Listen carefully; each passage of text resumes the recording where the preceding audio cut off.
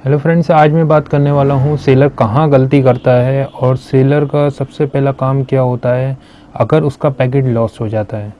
देखिए, मैं भी एक सेलर हूँ और मेरी तरफ़ से भी जो गलतियाँ हुई हैं, उनको मैंने सुधारा है। कहाँ पे सेलर ज़्यादातर गलती करते हैं, उसके बारे में हम बात करेंगे। और पहले काम क्या होता है सेलर्स का? सपोज़ मेरे अगर 10 पैकेट गए 10 पैकेट में से एक पैकेट में मेरा लॉस हो गया, एक पैकेट तो मेरा क्या कहना होगा? एज अ सेलर अमेज़ोन की तरफ़ से लॉस हो गया फ्लिपकार्ट की तरफ़ से लॉस हो गया स्नैपडील पेटीएम इनकी तरफ़ से लॉस हो गया। पहला मेरा वर्ड्स जो होंगे, ये होंगे। सेकंड वर्ड्स ये होंगे, अगर अमेज़ोन फ्लिपकार्ट की कोई गलती नहीं है तो कोरियर वालों की तरफ़ से हो गया। कोरियर ने ऐसा पैकेज लॉस कर दिया मेरा।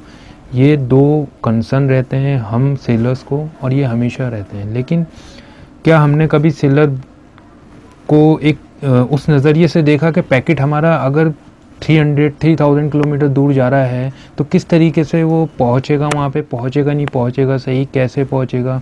क्या डिलीवर्ड होगा? जो हम स्लिप उस पर मेंटेन कर रहे हैं, वो सही से मेंटेन है नहीं है? क्या वो थ्री थाउज़ेंड किलोमीटर के बाद भी वो एज इट इज़ रहेगा नहीं रहेगा? तो ये गलती हमें देखनी है कि कहाँ पर हम करते हैं। तो आज मैं इसी के बारे में बात करने वाला हूँ। अभी मैंने अमेज़ोन से एक ऑर्डर किया है बुक का।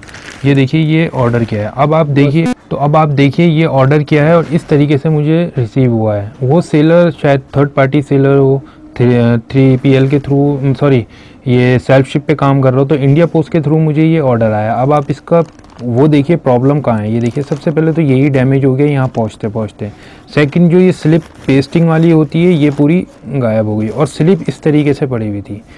तो यहाँ पे किसकी गलती है? तो देखिए, ये स्लिप है और आप पैकेट की हालत देख ही रहे होंगे। ये देखिए, पूरा यहाँ से डैमेज और ये स्लिप हमने निकाली और इसको स्लिप को, अब ये देखिए, अगर ये स्लिप यहाँ से निकल जाती, भाई दिव्य आप मानिए कि यहाँ से निकल गई, अब कौन से सेलर को जाएगा ये? कौन से कस्टमर को जाएगा? हम क्या कहेंगे कि अमेज़ोन ने हमें ऐसा कर दिया फ्लिपकार्ट ने हमें ऐसा कर दिया। फ्लिपकार्ट से हमें लॉस हो गया अमेज़ोन से हमें लॉस हो गया। हमारे वर्ड्स यही रहेंगे। लेकिन यही स्लिप अगर इसका प्रॉपर वे में रखी जाती तो ये प्रॉपरली यहाँ पे पहुँच जाती। लेकिन ये स्लिप हमें प्रॉपरली नहीं पेश करते हैं अपना टाइम सेव करने की वजह से और वहाँ पे हमें लॉस होता है। अब मैं आपको दिखाऊँगा मैं किस तरीके से करता हूँ। ये कंडीशन मेरी भी थी, मेरे साथ भी ऐसी होता था। लॉस हमेशा होता था। यही रीज़न रहता था कि स्लिप इसकी पॉली के अंदर रख दी कि जो पेपर कैरी का होता है इसमें सिस्टम वहाँ पे हमने रख दी और उसको कोई पेस्टिंग नहीं करी और कर दिया। तो हमें जब मतलब इस चीज़ का अंदाज़ा हुआ कि ये लॉस हो क्यों रहा है, उसको रिकॉर्ड चेक करें कि इतना लॉस क्यों हो रहा है अमेज़ोन की तरफ़ से या फ्लिपकार्ट की तरफ़ से जो हम कहते हैं तो देखा तो उसमें गलती हमारी थी। अब मैं देखिए किस तरीके से बेचता हूँ, वो मैं आपको दिखा देता ये मैंने सैंपल के लिए रखा है और देखिए यहाँ पर ये सेलर का आ गया टू यहाँ पे लिख दिया टू क्योंकि देखिए इंडिया पोस्ट में जो भी काम करता है, वो उसे पता है कि टू ऊपर लिखा होता है और फ्रॉम नीचे लिखा होता है। तो टू यहाँ पे और फ्रॉम यहाँ पे जो मैं हूँ सेलर वो लिख दिया।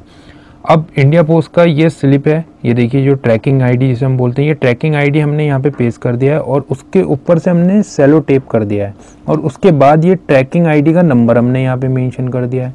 तो यहाँ पे अगर ये ट्रैकिंग आईडी मान लीजिए हट जाती है यहाँ से तो ये पता है कि टू कहाँ, किधर जाना है फ्रॉम पता है कहाँ जाना है। सेकेंड चीज़, अगर ये टू हट जाता है और ये टू हट गया, अब ये देखिए, ये स्लिप है। ये ट्रैकिंग आईडी बता देगी कि आपका पैकेट बुक कहाँ से हुआ किधर जाना है। अगर ये ये भी हट गया और ये बाहर हट गया फ्रॉम किसके पास से आया है?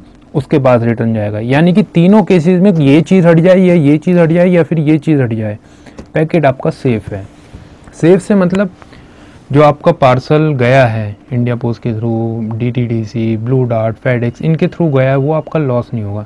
क्योंकि उसमें आपको पता लग जाएगा जो बुकिंग पार्टी है, उसे पता लग जाएगा कि मेरे यहाँ से बुक हुआ है, मुझे पता है कि ये कौन सेलर देखे गया है। तो इस तरीके से आप ट्रैक कर सकते हैं और इस तरीके से आप सेफली चल सकते हैं।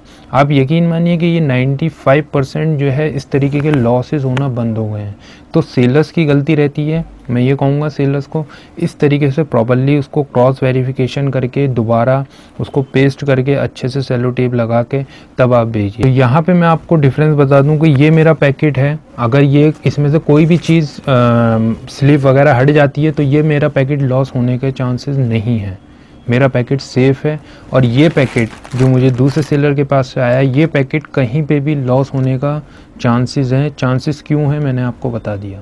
तो कहने का मतलब ये है कि सारे के सारे जो भी आपका डिसीज़न होते हैं, वो खुद आपको लेने हैं, किस तरीके से सेफली आप कस्टमर्स तक ये ऑर्डर्स पहुँचाएँ। ये आपकी ज़िम्मेदारी है।